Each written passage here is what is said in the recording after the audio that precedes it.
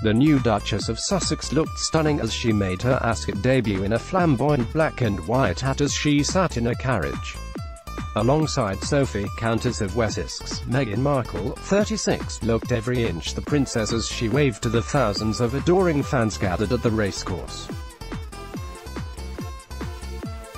The beaming Duchess and her new husband, Prince Harry received a rapturous welcome from Royal Ascot when they joined the Queen for a spectacular carriage procession, which signals the start of the five-day event in Berkshire. Just four weeks after marrying, Harry and Meghan enjoyed the sights and sounds of a quintessential English summer event, a day at the races.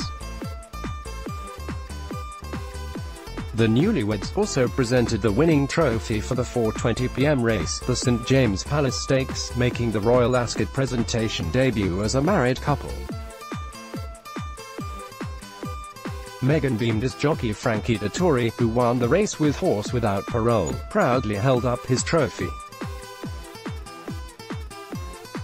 The Duchess looked stunning in a stylish monochrome outfit by her favorite designer, Givenchy, teamed with a Philip Treacy hat. Thousands of racegoers cheered and applauded from the stands as the Queen's carriage led the procession down the course. The royal arrival came just moments after Buckingham Palace confirmed Zara Tindall had given birth to her second royal child on Monday.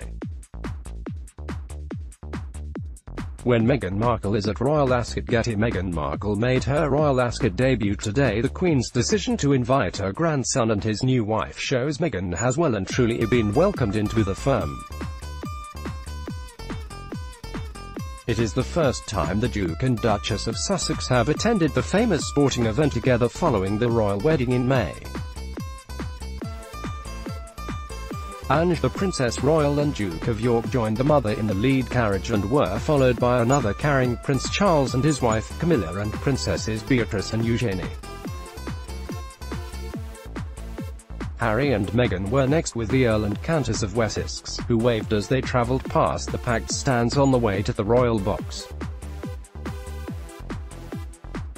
When Meghan Markle waved to adoring fans, Getty Meghan and Harry presented the winning trophy for the 4.20pm race, the St James Palace Stakes after disembarking from the carriages Meghan and Harry were pictured chatting with the Queen.